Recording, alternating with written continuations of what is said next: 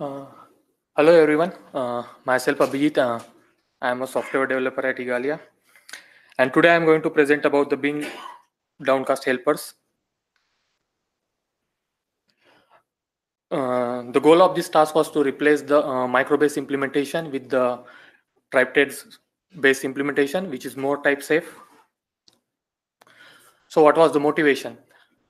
The old uh, implementation was using the micro, and the micros are not type safe. Uh, it is difficult to debug and trace the microbase code, and micro caused to the code blot.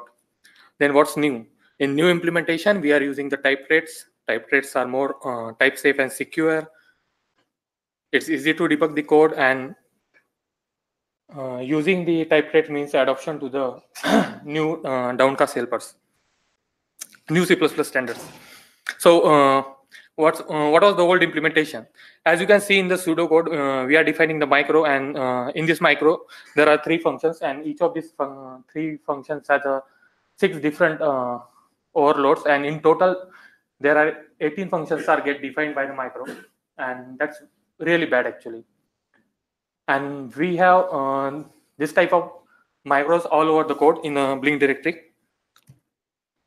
So how the uh, new implementation looks like as you can see in the table uh, each of the uh, old implementation has a corresponding uh, new implementation and you can find more information down in the links attached so this is a small example where uh, we are using the type traits let's see the some numbers. Uh, this graph shows the uh, progress that we have made in the last one year. Uh, till now, 181 patches are landed, 978 files are modified, and the pre-submit warnings are added against the use of deprecated downcast functions. So what is the progress?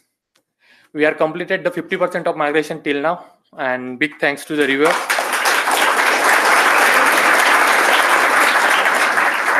and what's next uh, we are planning to complete the uh, remaining migration and we are expecting this task to be completed uh, before the blinkon 12 thank you Thank you very much.